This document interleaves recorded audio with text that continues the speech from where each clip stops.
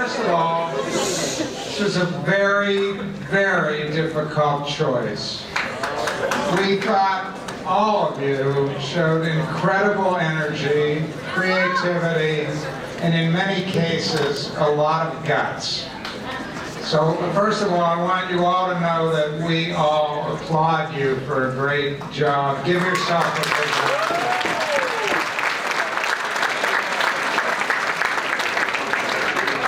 So we know some people will be disappointed, but I hope you'll realize this was really hard for us. And uh, what you're going to hear in a minute represents our collective judgment. So we'll begin with third place, men's track, field.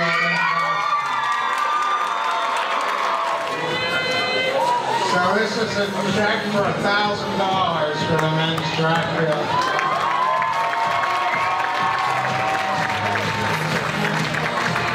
Second place, one thousand five hundred dollars to the volleyball team.